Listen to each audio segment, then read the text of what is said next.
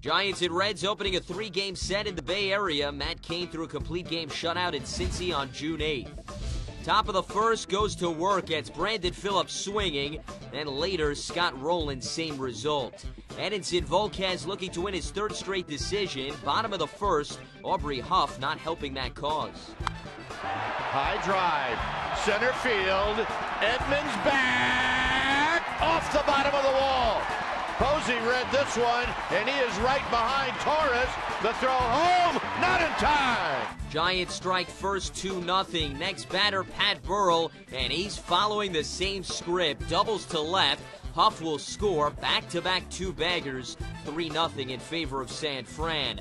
Later in the frame, it's now 4 0, two on, one out. And Freddie Sanchez continues the trend. He doubles to right. Pablo Sandoval scores. That capped a five run first.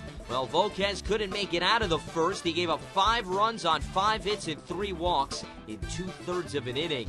Move to the third, two on, two out. Reds offense trying to get something started. Well, Scott Rolen provides the spark.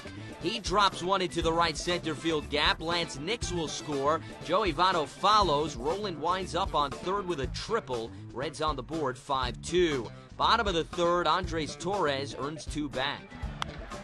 Torres skies it into center field. Edmonds back at the wall. Andres Torres with his 13th of the year, and the Giants get those two runs back.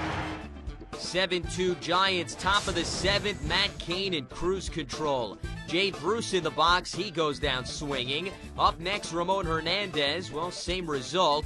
Paul Janish, well, he's not even going to bother to swing. Cain strikes out the side. He collected seven Ks over eight solid innings, allowed two earned runs and five hits. Giants cruise past the Reds 11 2. Cain retired his final 14 batters and combined with Javier Lopez on a five hitter.